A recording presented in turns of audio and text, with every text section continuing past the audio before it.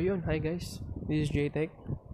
Uh, for today's tutorial, ituturo ko kung paano mag-download ng NBA 2K20 plus mod APK para magkaroon ka ng uh, unlimited VC or virtual coin para magamit mo, makabili ka ng uh, makapag-upgrade ka ng attributes or makabili ka ng kung ano-anong gamit sapatos dun sa game.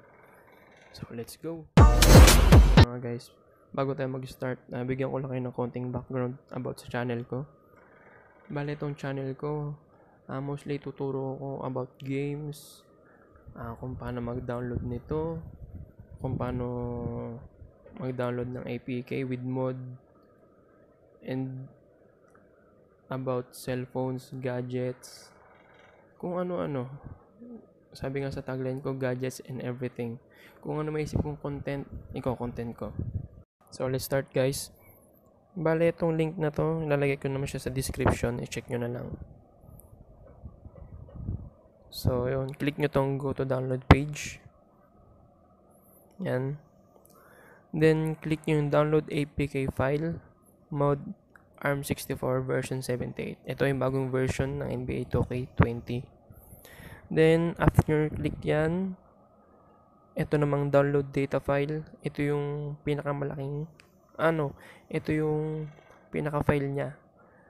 Nasa, ano yata siya eh, 3 gig. Hindi ko nagkakamali. Then, click nyo yung dalawa na yan. Yun, i-click na natin yung download data file. Pagka ganyan, i-back nyo lang din. Back. Isa.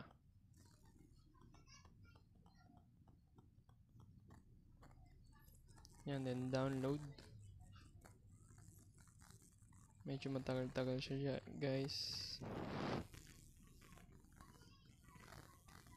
Uh, 3 gig siya eh.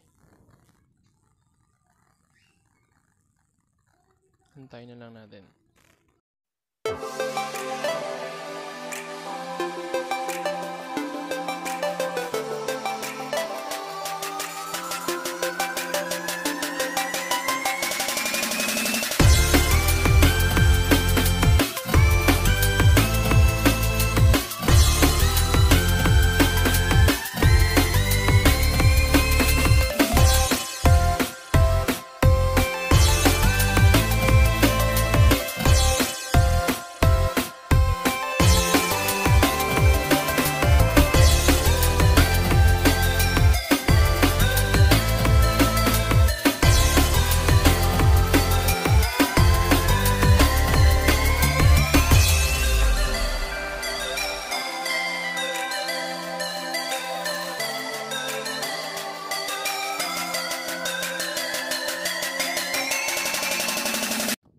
Yon after nyo i-download yung download data file, isunod yun naman yung download APK file. Mod and ARM64. Click nyo lang.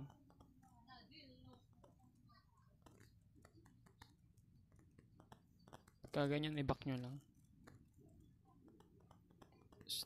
Click nyo ulit. Hanggang mag-start. Yan. Start na siya.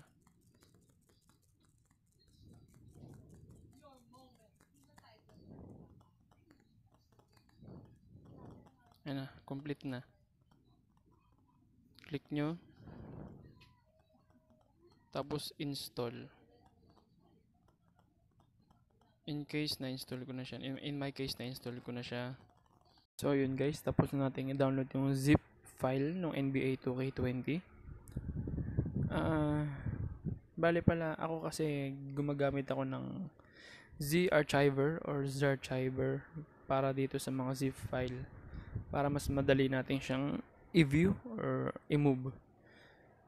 Ito, i-click na natin siya. NBA, then view, then pindutin nyo rito sa com.t2k sports NBA. Click nyo lang. Then, i-copy nyo lang itong dalawang big file na to. Copy nyo lang siya. Ah, mali uh, multi-select. Then, click nyo yung dalawa. Then check. Tapos ito ulit. Then punta kayo dun sa Android file. Ito, click nyo yung Android. Then OBB. Then click nyo yung Come to K Sports NBA. Then ipipaste nyo yan dito. Ito na siya, na-paste ko na siya.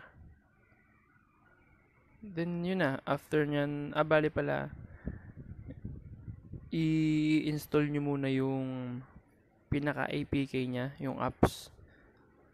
Tapos, tsaka nyo gawin to. Then after nyan, pwede nyo na siyang i-run.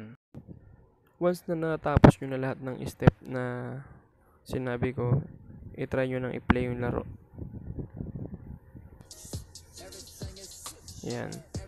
Yung sa akin nalaro ko na to kaya may VC na nakalagay. Pero sa umpisa niyan, 0-0 lang yan. Pero wag kayong magtataka kung 0-0 lang. Yun na talaga yun. Pwede nyo nang i-upgrade or makabili kayo ng mga gamit sa laro. So yun guys, okay na yun. Thank you for watching. Sana may natutunan kayo sa videos ko. And kung may mga tanong kayo, just leave a comment. And don't forget to subscribe to my channel.